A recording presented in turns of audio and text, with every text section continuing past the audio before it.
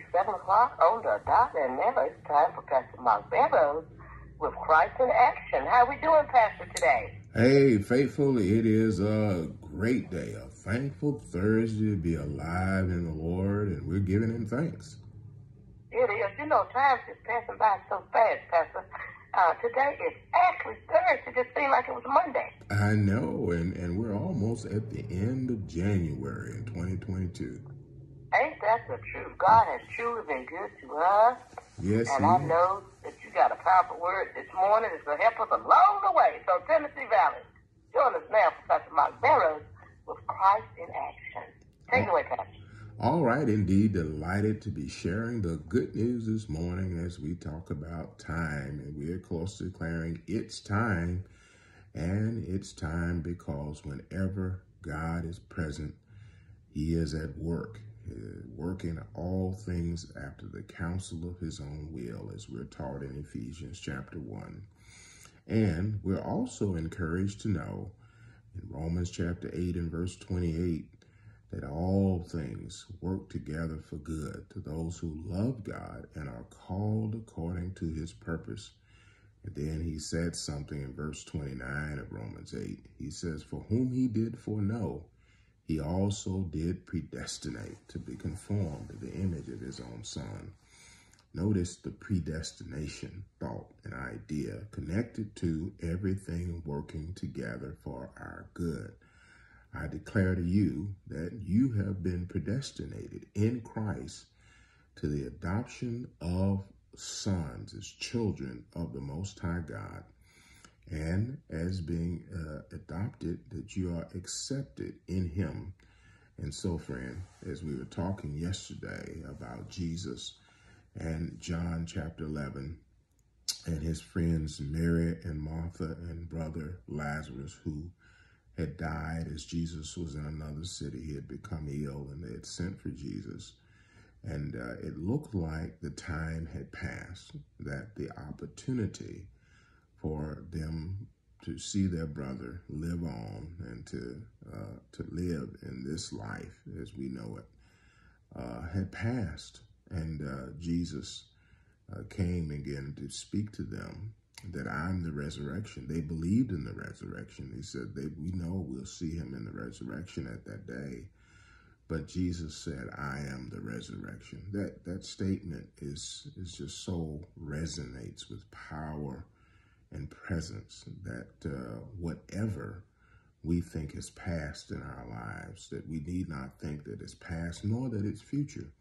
When he said, I am the resurrection, it echoed again what God told Moses as he appeared to him in the book of Exodus and began to summons him to his purpose and call to go back to Israel and bring deliverance to his people from bondage in, in Egypt.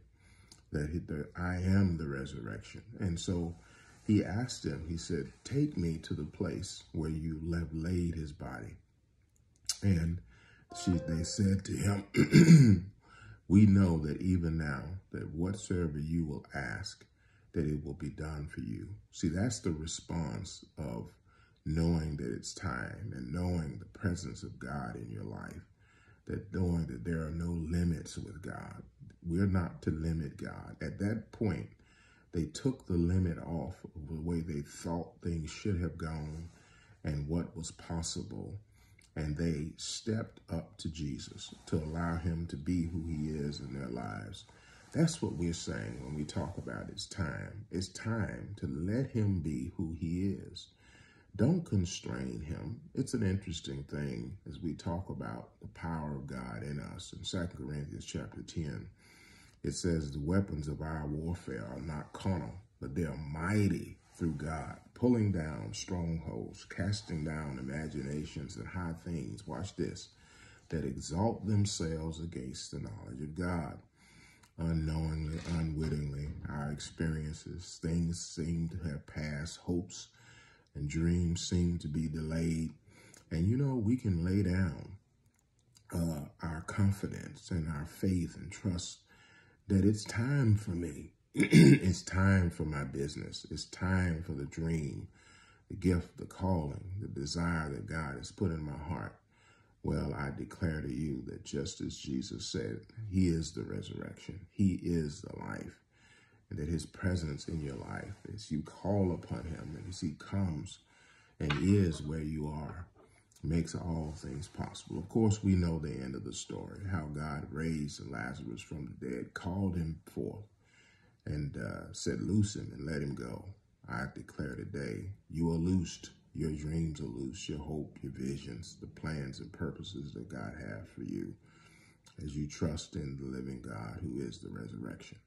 This has been an outreach of Connected Church. Connect with us, connected-church.com. Follow us on Facebook, Instagram, YouTube. Of course, right here on this Gospel Explosions outreach to the Tennessee Valley and beyond. Every single day is what we declare, the love of God. Together, we're the difference that makes the difference. So we're waking this purpose of knowing Him and His love for us. Amen, Pastor. We thank you for being obedient to God, serving the people of God each and every day of your life. Yes, and thank you to you as well and what you and the Gospel Explosions family do every single day. All right, we in it together and we in it to win it. Amen. All right. Well, hey, as you say, have a great day on purpose. All right, you too. Bye bye. All right. Let's awaken to the purpose of God and mobilize his mission in making him known and sharing his love with others. Have a great day today. We'll talk to you again real soon. Bye bye.